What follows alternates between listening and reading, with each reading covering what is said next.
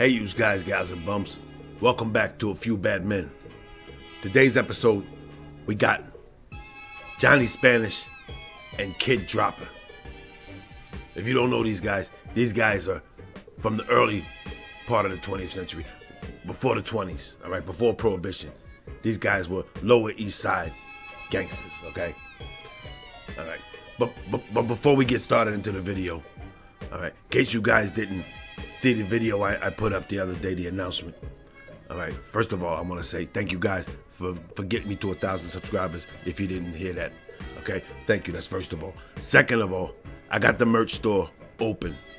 All right, a lot of you guys say you wanted you want some shirts and stuff. I got it for you. Okay, you need to go to afbm-gear.com. All right, there you can get the exclusive A Few Bad Men gear. I got some great shirts up there. I got a few coffee mugs up there for you guys. All right, go check it out. Also, you can follow me on Instagram at AFBM underscore gear. All right, if you buy something, you know, I would love to see if you if you tag me in the video in your picture or something and, and let me see you guys wearing wearing the gear. Now make sure you stay tuned to the end of the video where I'll be giving away a t-shirt. Okay, so stay tuned, watch the whole video at the end. You get and I'm gonna have a contest so you guys can win a t-shirt, all right?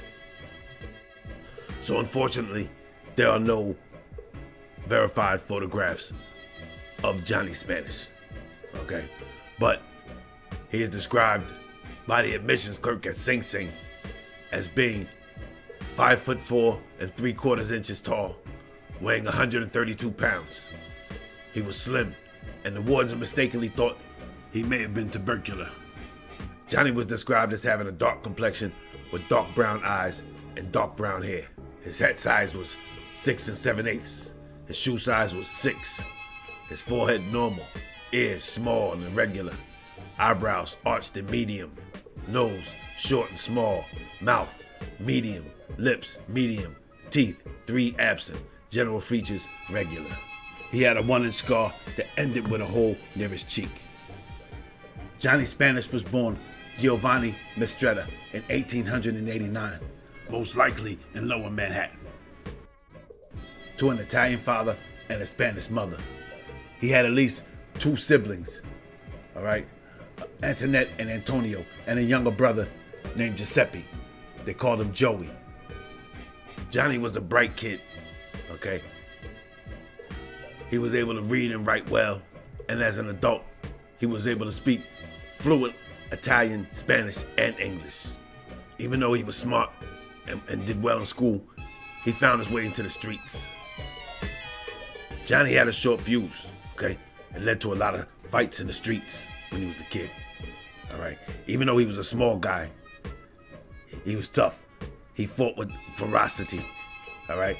He attacked his, his enemies like a like a wolverine. They said. It seemed like he suffered some from some type of depression. All right, because he would he would brood over his troubles, real and imaginary. Okay. For several years, he kept strictly to himself, operating as an independent thug uh, and accepting commissions from all who would pay his price. It's said that Johnny never made a move without two revolvers stuck in his belt. And when he was on important errands, he carried two more stuffed into his coat pockets, besides his regulation equipment of a blackjack and brass knuckles. Now, sometime between 1905 and 1906, Johnny joined the Five Points Gang. Okay, started off small, pickpocket in the streets and the trolleys. Then he, he graduated up to burglary and armed robbery. Now, because he had a Latin heritage, they started calling him Spanish John. All right, his Five Points gang. They started calling him Spanish John, and before long, it, it, it transposed to Johnny Spanish. Okay, and now his little brother Giuseppe Joey. Soon he became a part of the gang, and they started calling him Joey Spanish. Sometime early on in his five point career, Johnny was shot in the face and had three teeth knocked out. That's what gave him that ugly scar on his cheek that we mentioned earlier. By 1909, Johnny was 20 years old and he had a gang of mostly Jewish thieves on the Lower East Side. Him and his brother Joey began to use the alias of Wheeler. most likely to, to shield their family from the shame of their criminal activities. So, along with Joey, some of the guys in Johnny's gang were Hyman Benjamin, Lefty Cantor, and a guy who would end up being the death of Johnny, Nathan Kid Dropper Kaplan. One of seven children, Nathan Kaplan was born August 3, 1891. According to his elementary school principal, Nathan was well behaved and was promoted quite regularly and even skipped a grade level. his first arrest came on September 16, 1903, just three months after his promotion to the fifth grade, when he was pulled in as a suspicious person after trying to sell a pair of shoes. He told the police that another boy had given him the shoes and he was discharged. Now, the kid got his name Dropper because he ran a drop game, drop swindle, okay? What he would do is he would take a wallet with some counterfeit bills in it and he would drop it next to the foot of a person on a trolley or outside or something. And then he would ask the person, uh, listen, could you take this? I found this wallet. Could you take this back to the person who owns it? Give me a couple dollars and you take it, and then they'll give you a reward, knowing that the person is going to know there's money in there and they're going to be greedy and they're going to let their greed take over them and give him a few dollars, and then he'd step off and go off, and they'd walk around the corner and look and see they got counterfeit dollars. All right, so that's the drop scheme or drop drop swindle. Kid Dropper grew up just like Johnny, in poverty on the Lower East Side, stealing from push carts and unsuspecting passerbys. Nathan was able to stay out of the hands of the police until his teens. On February 11, 1908, he was arrested as a general thief and discharged. About two years later, on January 27, 1910, he was caught with a concealed weapon but came away with a suspended sentence. By the time he was 20, he was in the Spanish gang. And along with Johnny and the rest of the guys, they were terrorizing the Lower East Side. So in 1909, as labor unions started forming in the United States, all right, companies started hiring thugs to act as strikebreakers and discourage union activity.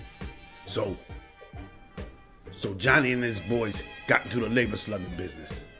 Okay, now, now at the same time, companies were, were hiring thugs to break strikes. The unions were hiring muscle of their own to protect striking workers and prevent the strikes from being broken. This is what Johnny and his guys did. Okay? And in the autumn of 1909, they were hired by the Triangle Shirtwaist Factory to break a strike. The Triangle Shirtwaist Factory was located at the northwest corner of Greene Street and Washington Place in Greenwich Village. It took up the 8th, 9th, and 10th floors of the Asch Building. They had about 500 workers, most of them immigrant women who worked long hours sewing blouses. They used to call them shirtwaists back then. They worked extremely long hours under crowded and unsafe conditions. The plant's owner, Max Blanck, and his partner Isaac Harris regularly locked and chained the doors of the business in order to prevent the workers' theft and unexcused absences. In November of 1909, the Triangle workers began to protest the inhumane working conditions and started to unionize. This caused the management to lock out the bulk of the plant's workforce, roughly 500 workers. Out on the picket line, the seamstresses were picketing out front of the Asch building, joined by the members of the Women's Trade Union League, there to show solidarity and help them organize. The women were threatened by police who were friendly to the Triangle management and they told the girls they would find themselves jailed if they didn't get out of here. So this is where Johnny and his guys come in. They were hired to break this strike. So every day, they were out there verbally abusing and occasionally physically assaulting the strikers. One, one picketeer named Annie Pardwin filed a complaint against one of Johnny's guys. His name was Morris Goldfarb. She said he rushed up to her and slammed her against the wall near the shop and struck her with his fists. At the same time, he exercised his vocabulary to its limits. Johnny was also accused of assaulting one of the locked out workers, a guy named Joe Seinfeld. Johnny beat Seinfeld so severely he had to be hospitalized. Some of the picketers saw, saw this and they tried to call for the cops, and Johnny ran off. it said that he was caught down the road by a cop on a horse, and he had a few words with the cop, and the cop let him walk off. Eventually, the strike was settled, and it was back to business as usual at the factory, doing no small part to the labor slugging of Johnny and his guys. 16 months later, the Triangle Shirtwaist Factory caught fire, and 146 workers were killed.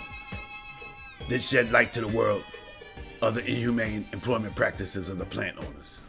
On November 13, 1909, Johnny got his name in the papers for the first time because on Wednesday, November 10th, a few bandits held up the Jefferson Cartery Club on Henry Street. Okay, seems like Johnny and his guys were the victims in this. Okay, because they went out to get retaliation the very next night. So this is 1909. Okay, horse-drawn carriages. There are more horse-drawn carriages than there are cars on the road right now. Okay, so back then, if you didn't own a car, there were garages around the city that would rent autos to, to trustworthy individuals for a short period. You know, like a rental place now. Okay? But it's unclear if this is how Johnny acquired them. But somehow, Johnny and his guys got their hands on three taxi cab automobiles. So now they were mobile and out looking for revenge, fueled by alcohol and cocaine. At around 8:30 that Thursday evening, the three cabs came to a stop on Broome Street. Johnny and about a dozen of his guys jumped out of cars and began visiting the saloons like they were looking for someone. All right. And at Grand and Pitt Streets, they came across Assemblyman Aaron Levy, who was speaking to a judge at the time. And then all of a sudden, shots rang out, sending the assemblyman and the judge running for cover. All right. Johnny and his guys proceed to shoot up the windows and street lamps before jumping into their cars and taking off. Later on, around midnight, they showed up at a, a saloon owned by a guy named Max Schnurr and shot the place up. They terrorized the customers and, and shot up all the mirrors behind the bar. Two guys, Mike Kalinsky and Sam Klein, received minor wounds in the attack. The cops rounded up all the usual suspects from all over lower Manhattan that night, including Jake Siegel, aka Kid Jigger, and a guy named William Albert, soon to be infamously known as Big Jack Zelig. So after the Triangle Shirtwaist Factory and the taxi cab incidents, Johnny started to get a name for himself in the underworld. So he began to expand into other rackets. He, let it be known that him and his guys were available for freelance muscle work, as well as burglaries and armed robbery, in addition to the labor sluggery. Okay? Johnny also had a couple of street walking girls work for him. Okay? One one's name was Millie Cohen, and she, she worked the area between 28th Street and 6th Avenue. Another girl whose name is unknown. She worked downtown in the vicinity of Monroe and Jefferson Streets. Now, there was this card game that was played in uh, the back rooms and saloons in, the, in, in New York and in Chicago in the Jewish communities. All right. Now, this this card game was called Stuss, or Jewish Faro. All right, and entailed the cards being dealt by the dealer from the hand, not from a shoe. Apparently, in Faro, you deal from a shoe. I don't know. Guys, leave it in a comment if you know anything about it. All right. Also, the house wins all the money when drawing two equal cards, as opposed to half in traditional Faro. This greatly increased the house advantage over its patrons. Right now, Stuss, like I said, was played in the late teens, the late 19th century, early 20th century, in, in ethnic neighborhoods, New York and Chicago. So, Johnny began to muscle in on these underground Stuss games. He would approach these Stuss operators and demand a substantial percent of their, their daily earnings under the penalty of death. His success in the underworld enabled him to buy a new house for his family at 31 Lexington Avenue, an up and coming section of, of Queens called Maspeth. Johnny moved his family out to the house. All right, his his older sister Antonetta, and her husband Paul, and his his mother Rose, and his brother Joey. In 1910, Johnny Spanish fell in love. He fell hard for attractive 19 year old girl named Beatrice Constance. Now, Johnny had a burning desire to, to lavish his girl with silks and precious stones. And, and it was this desire that eventually got him bumped off. I'll tell you how.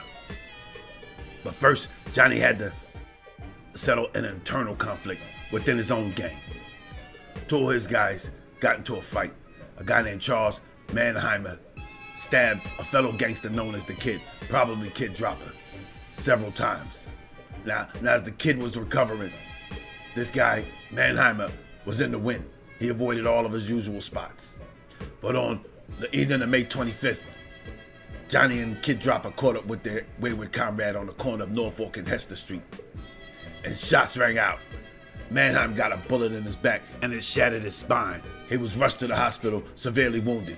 And he growled, If I don't get a wooden overcoat, I'll get the man who shot me, without help from you bulls. But on June 12th, the 23 year old gangster Charles Mannheimer died of his wound. Soon after the Norfolk attack, Johnny was out to get some, some money. He needed some money for his new girl. All right. So he thought of a Stuss game, obviously. All right. The one he thought about was run by a guy named Kid Jigger on Forsyth Street between Hester and Grand. One of the most prosperous on the east side. All right. Kid Jigger bore a wide reputation as a gunfighter, and the gangsters respected his prowess and left him in peace. But Johnny was blinded by love and avarice, and Johnny was undeterred by Jigger's reputation. So on the evening of May 29th, Johnny showed up at Kid Jigger's game in Forsyth Street between Hester and Grand with a guy named Hyman Benjamin. Johnny calmly demanded half of the Jigger's profits from the Stuss games. But he told Jigger that he could continue to do all the hard work of running the games. The Jigger responded, And why do I give you half of my Stuss graph? Johnny said, Because if you don't, I'll bump you off and take it all. Jigger laughed long and loud, and Johnny glared at him balefully from his brooding black eyes. All right, he said, I'll bump you off tomorrow night. After Johnny and Benjamin left, Kid Jigger armed himself with a cheap 32 caliber revolver. And then he exited his game into the spring night and headed north to the intersection of Forsyth and Grand Street. But Johnny Spanish and Hyman Benjamin were waiting on the corner. After a brief conversation with the gang boss, Jigger stepped back and reached for his pistol. He managed to get one shot off before taking off for cover. While he was running, one of, one of Johnny's guys emptied a pistol at him. One of those bullets hit a 13 year old girl named Rachel Rutan in the abdomen as she was walking by. She went down screaming, and Johnny and his guys made their escape. She was rushed to the hospital as the police started to investigate.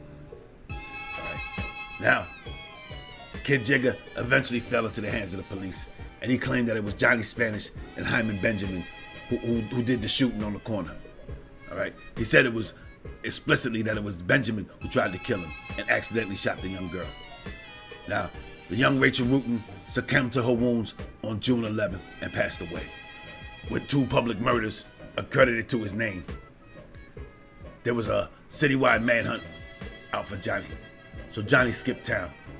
He left behind his kingdom and his girlfriend, Beatrice Constance. He laid low in Detroit for the summer of 1910.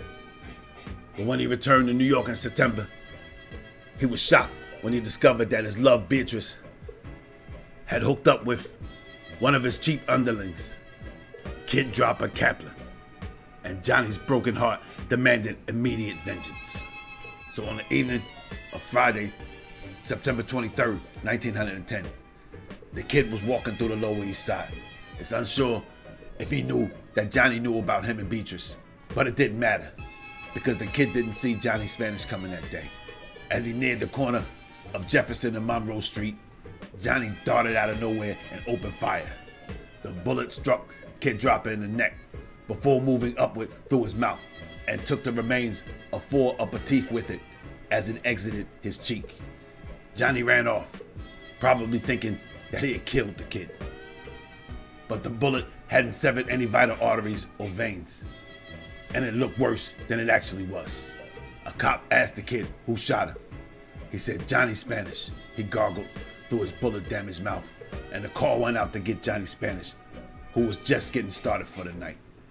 Now, back in Maspeth, Johnny was seen getting off of a trolley with his girl, Beatrice. They were seen arguing. And then they saw Johnny grab her by the wrist, jab the barrel of a gun against her gut, and pull the trigger twice. She let out a scream as Johnny looked around, and then he took off, hopped over some fences, and sprinted across the fields of Maspeth. A police officer was, was summoned, and they found Beatrice still alive but severely wounded. When they asked her who shot her, she said, I'd rather die. But later on in the hospital, when she was told that she was to die, she said, John Wheeler shot me. And then soon realized that she was talking about Johnny Spanish, who usually used the alias of Wheeler. All right, so so check this out. This is this is the legend. All right, the legend says that at the time Johnny shot her, that Beatrice was pregnant with Kid Dropper's kid. All right, and after she was shot, she had a kid who was missing two fingers that was apparent, apparently shot off by Johnny Spanish. All right, but that's just the the legend. All right, there's no evidence that she was pregnant when she was shot, but that's Herbert Asbury's Gangs of New York creating legends. Now, somehow, Johnny was never charged for the shooting of Kid Dropper or Beatrice Constance.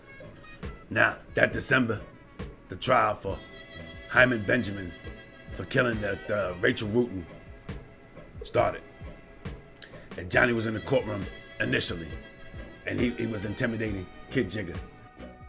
Kid Jigger took the stand and told the court that he was afraid for his life.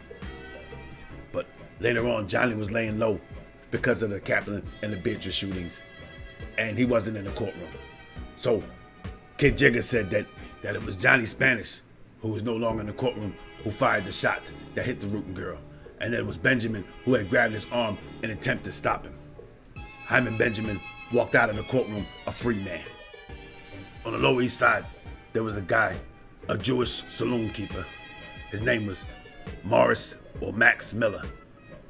Okay, he ran a spot at uh, 107th Norfolk Street, a tavern. All right, he was known as Moishe the Strong Arm in the Jewish underworld. But Johnny didn't care about anybody's reputation. If he wanted what you had, he was going to come and take it. So on the evening of March 18th, 1911, at about 11:30 p.m., Johnny and one of his guys, Jaime Cohen, entered the saloon owned by Morris Miller. Johnny approached the bartender, who happened to be Morris Miller's brother, Isidore, and he told him he wanted to see Morris. And he said Morris wasn't in. And then Cohen said, Tell him he's his brother. Johnny said, quote, F you, I don't want to talk to you. I want to see your brother. So then Johnny tried to get the bartender to hand him over $10, and Isidore refused to do so. Johnny and Cohen said that they would be back that evening to clean the place out. About an hour later, Johnny reappeared with two guys and, and his pistols drawn. He told the 15 patrons to, to put their hands up. Then he told his, his guys to go through the crowd. They got about $200 worth of valuables in cash and watches from the from the customers. All right. Now at this point, Isidore called Johnny over to the bar and offered him 10 bucks. He said, Here, here, Johnny, take this and be quiet. To which the gangster replied, You go to hell. I'll go behind the bar and take it all. Then Johnny went behind the bar and relieved the, the enraged Moisture, strong, Moishe the strong arm of his prize gold watch before snatching $68 out of the till. While backing out of the saloon, he crossed his pistols and told everybody that he was going to shoot the bartender for luck. When Spanish fired, Isidore ducked for safety. Johnny said goodnight and left. Johnny was subsequently arrested for the robbery and went on trial on July 13th. Right. Now, according to the press, he showed up for court tastefully dressed, as for a gala event, in good taste, not the cheap, flashy clothes usually affected by the sports of his class. His mother sat behind him in the courtroom, and his sweetheart, Mildred Rose, originally from Detroit, she paced outside in the hallway. She couldn't bring herself to watch the proceedings. After the first day, Mother Wheeler left the courtroom and broke into tears while Mildred tried to console her. On the second day of the trial, with overwhelming evidence against Johnny. His lawyer informed the court that his client wished to change his plea of not guilty to guilty of robbery in the first degree. The court asked Johnny to plead suffering or faking a tubercular fit, and it said that he was tubercular. He rose unsteadily and said, I plead guilty, Your Honor. Very well, the judge replied. I'm ready for you. You're one of the most miserable and contemptible characters that it has ever been my misfortune to see. Were you a well man, I should give you the stiffest sentence in the power of the court to impose. But I don't think you're long for this world. Then, too, you're still pretty young and much of a youngster. He was 21 at the time. So I'm going to give you a moderate sentence. From what I hear of your condition, I don't think you'll ever tr- trouble anyone again. Seven years and 10 months in Sing Sing. Now, earlier that year, on January 26th, okay, Kid Dropper and some of his guys entered into a West Side whorehouse and robbed the women at gunpoint and threatened to kill anyone who made a noise. While the crime was in progress, the kid ripped $86 from one of the girl's stockings. The bandits escaped only to be arrested a short time later. And because the dropper physically removed the money from the woman's stocking, assault was added to the charge of robbery. And a sentence of 7 to 10 years was handed down. Dropper was sent to Sing Sing, where he no doubt mixed with Johnny Spanish when Johnny got there. But the kid's lawyer was able to finagle him out of his original charge, and he didn't have to serve all the time on his sentence. He got out before Johnny Spanish. While Johnny was locked up, the kid began to rise in the, in the Jewish underworld. Even after he was arrested and sent back to jail in 1914 for bigamy, it was clear to see that Kid Dropper was, was, was getting much bigger than Johnny Spanish. And Johnny could only look with envy from jail. When Johnny was released in 1917, he came back to a, a different world than, than the one he left. All right. He was now 28. All right. Cars were big. There was a lot more traffic, a lot more cars in the streets than when he left. And uh, the Queens neighborhood, Maspeth, where, where he he had his family, was being built up. All right. When he was there, it was a lot of open fields. It wasn't too developed. When he got back, it was a lot of houses and everything. It was a neighborhood now. Johnny got back to back to his old haunts and put his reputation of use on the streets. All right, with, with his brother Joey back at his side, they started to uh, make a little noise. But the underworld had changed since he went away. All right, there was different guys in, in charge. There was a guy named Arnold Rothstein. Okay, you may have heard of him. Another guy was Jacob Orgen, known as Little Augie. Now, now Little Augie followed Dopey Benny Fein as the leader of the Lower East Side underworld. It seems that uh, Johnny made a deal with Little Augie to operate independently and not infringe on his territory. Johnny and his brother got back into the labor slugging business, but so he also got into the, the cocaine selling business because he was a user and a dealer before he went away, and now the cocaine was illegal. Him and his brother became perhaps the biggest dealers of the drugs on the Lower East Side during World War One. Kid Dropper was released from his bigamy charge in uh, December 1917. Okay, and not, like I said, he had a higher standing in the underworld than Johnny at this time. But it seems that they agreed to peaceably coexist in the underworld. Arnold Rothstein may have even been brought in to mediate. But in the summer of 1919, it seemed like the long-time beef between Johnny and Kid Dropper was on the verge of bubbling over. All right, Johnny was starting to, to make some money. He was getting about $100 a week for, for slugging activities. And Dropper was trying to get his hands on a large percentage of it. Johnny even had himself elected as a shirtwaist labor delegate so he could control the unions from the inside. Prohibition was right around the corner, and the gangsters in New York were, were readying themselves for the windfall. But Johnny wouldn't be around to take part in it. July 29th was a Tuesday. It was hot and humid in New York. The temperature was 91 degrees. And Johnny had agreed to meet his wife at Levitt's restaurant at 19 Second Avenue at 4 o'clock that afternoon. Johnny arrived in a cab a little after 4 that day, dressed in an expensive summer suit and a straw boater. Johnny navigated his way across 2nd Avenue toward Levitt's. Parked outside was his expensive touring car, driven by Philip Rockin, which meant that his wife was waiting for him inside. As Johnny approached the restaurant door, he was stopped in his tracks by Kid Dropper, who stood in the restaurant door, flanked by two of his goons, Herman Jaime Kalman and Billy the Kid Lustig. The two rivals spoke briefly, and then Kid Dropper pulled a revolver. Johnny was frozen. He didn't try to run or draw a gun of his own. The kid shot. The first bullet struck him in the heart and caused him to stagger before falling face down onto the sidewalk. Then the kid stood over him and fired a second bullet into the back of his head, which sent passers-by screaming and yelling and running. Then the dropper and two of his guys was seen casually walking around the corner and disappearing into the crowd. Johnny's wife and Philip Rockin ran out of the restaurant. They piled Johnny's body into Rockin's car and made it for the hospital. Johnny was still alive when he arrived at Bellevue Hospital, but he soon expired in the examining room. The police announced that they were looking for Nathan Kaplan, Herman Kalman, and Billy Lustig.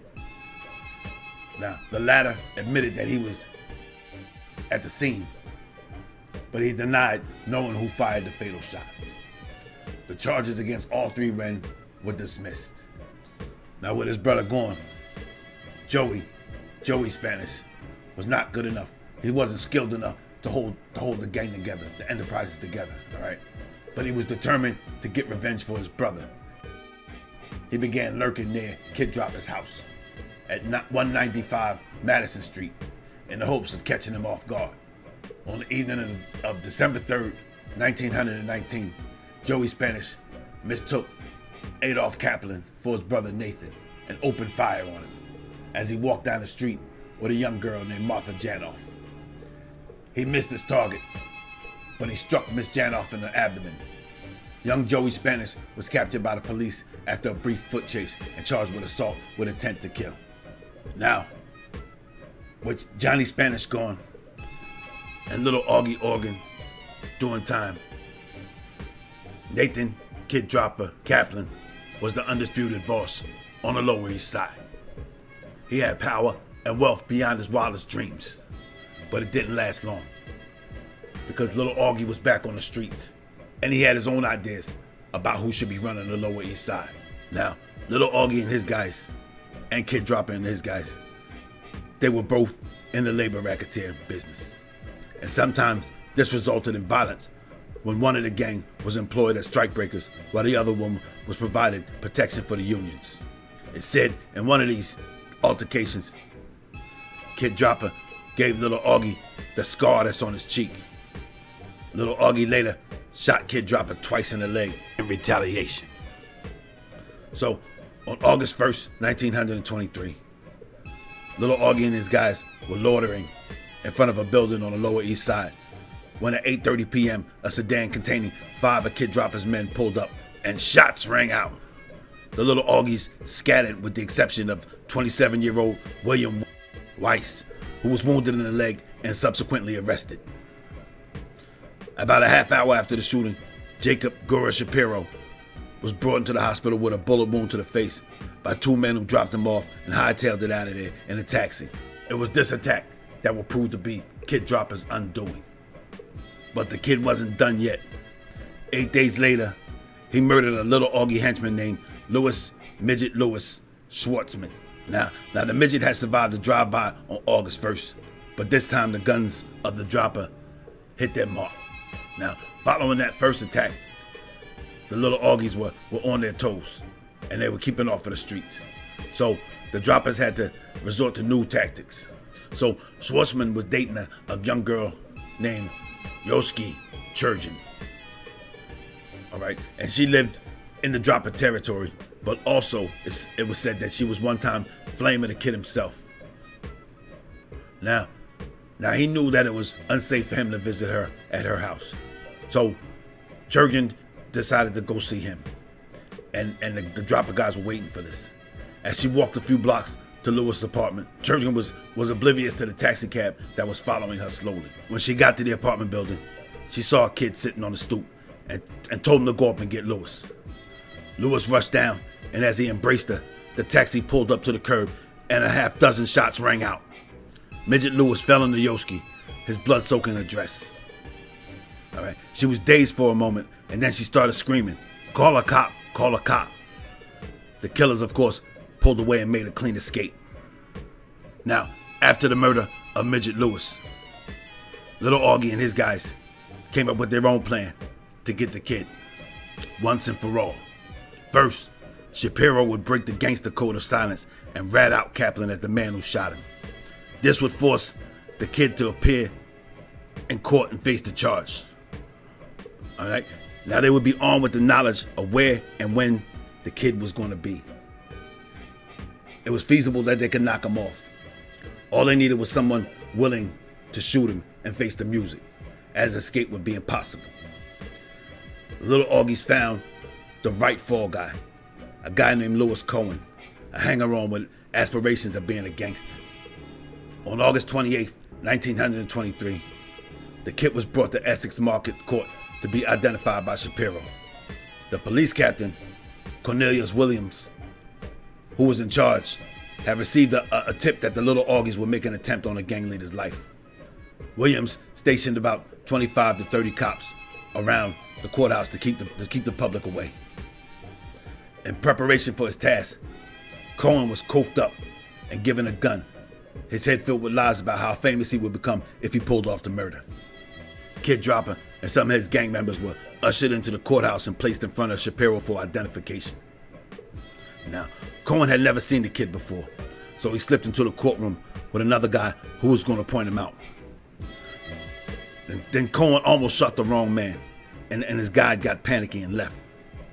All right. The court proceedings were so tedious that it bored Cohen, and he stepped outside and went to a barbershop across the street. All right. Inside the courtroom, Shapiro said that he really wasn't sure who shot him after all. And then a smiling dropper emerged from the courthouse with his wife, Detective Jesse Joseph, and Captain Williams bringing up the rear. Now, across the street in the shop, somebody yells out, There goes the dropper now. Cohen walked outside and slipped into the crowd that the police were holding at bay. As the dropper approached the taxi that was going to take him to the court on the west side where he had to answer another charge, his wife wrapped her arms around him and said, Jack, you've beaten all the other cases, and you'll beat this one uptown. Then she gave him a kiss. The captain pushed her away and told her she could talk to him at the West Side Court. Then he ordered the driver to get behind the wheel. Detective Joseph climbed in on the left side of the cab while the dropper got into the right, sliding over to make room for Williams. Before the police captain was all the way in, Cohen slipped through the crowd, ran up to the back of the taxi, and standing on his tippy toes, opened fire through the back window. Now, according to newspaper accounts, the first shot hit Dropper in the back of the head. He fell against Detective Joseph and muttered, Jesse, they got me. The second shot hit the driver behind the ear, and the third went through Captain Williams' hat. His wife was the first to react. She pounced on Cohen and yelled, Don't shoot him, as she clawed his face. He pushed her off and, and kept firing. Another two shots. One plowed into the dropper's back and one that went wild. After the second shot, Mrs. Kaplan was on Cohen again, and there were a number of cops who practically carried Cohen into the courthouse. Mrs. Kaplan ran over to her husband and grabbed his sleeve and cried, Tell me you weren't what they say you were. She didn't get his answer. A few minutes later, he was placed in an ambulance and died en route to Bellevue. Now, it, should be noted that Kaplan's death certificate doesn't back up the newspaper accounts of the shooting. The certificate said that he was shot through the lung and doesn't mention any head wound. Now, after the shooting, the police went through the crowd and arrested some little Augie's henchmen and a little Augie. All right. Cohen insisted that he wasn't a part of any gang and he acted on self-defense. He said the dropper had been hounding me for some time. Two weeks ago, he wanted to shake me down for $500. When I told him I didn't have it, he said he had me bumped off. Then he went on to say that the dropper had his best friend killed a few days prior. He barely escaped from Kaplan and some of his henchmen. The dropper's wife responded in the press and said, He's a liar by the book. The kid and I were upstate at a hotel two weeks ago. At the very time this liar says my husband tried to jip him out of that $500. The kid wasn't anywhere near Cohen in his life. Cohen never saw him before. He had to have his gang point the kid out. That's how much he was gypped of $500. Cohen stuck to his story and took the rap alone. Little Augie and his men were released. And that there, my friends, is the straight dope. The skinny on Johnny Spanish and Nathan Kid Dropper Kaplan. Hope you guys enjoyed the story as much as I enjoyed telling it. All right? Now let's get to this contest. Okay, I promise you guys I give you a contest. So here it is. I want you to pick one year between 1900 and 1950. All right?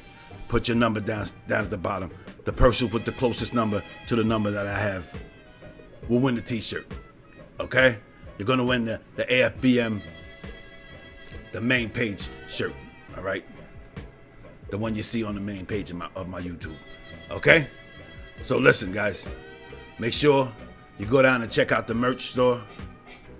The link is below in the description. Follow me on Instagram at AFBM underscore gear. Make sure you like, subscribe, share the video, and hit that notification bell so you don't miss next week's episode. Okay? This has been a few bad men.